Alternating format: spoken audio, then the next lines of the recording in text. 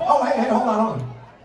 It is not without precedent that we play solo Beatles material. It's happened once before, and it's gonna happen right now. Let's do it.